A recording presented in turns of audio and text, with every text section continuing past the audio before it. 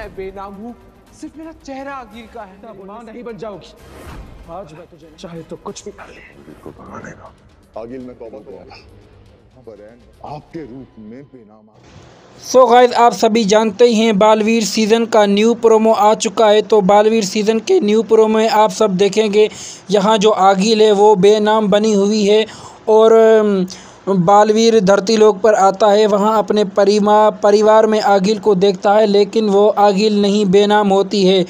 بے نام بالویر کو کہتی ہے، میں آگیل نہیں ہوں، میرا صرف چہرہ جو ہے وہ آگیل کا ہے، لیکن بالویر اپنے شستر نکال کر بے نام پر وار کرنے والا ہی تھا، لیکن وہاں پر اچانک سے کاشوی آ جاتی ہے اور بالویر کو بتاتی ہے، یہ بے آگیل نہیں، بے نام ہے، اس کا چہرہ صرف آگیل نے اپنے جیسا کر لیا ہے۔ دوستوں بالویر سیزن کا نیو پرومو بہت ہی زبردست ہونے والا ہے۔ بالویر سیزن کا جو ہے نیو سیزن کا ایپیسوڈ بہت ہی زبردست اور بہت ہی ہائی لیول کا ہونے والا ہے۔ اگر آپ کو ویڈیو اچھی لگے تو ویڈیو کو لائک کریں اور چینل کو سبسکرائب کریں۔